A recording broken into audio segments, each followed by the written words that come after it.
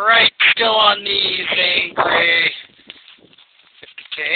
There's Anginator. Thumbs up. Still smiling. Four and a half miles to go. And we're doing great. Having a good time.